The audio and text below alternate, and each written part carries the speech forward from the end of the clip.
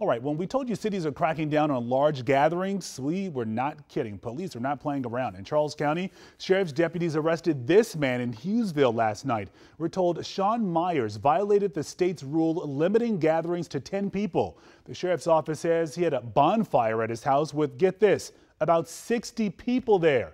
When deputies ordered him to break it all up, he refused. And we're told this was already his second warning. Last week, deputies say they warned him and he complied that time, but not the most recent.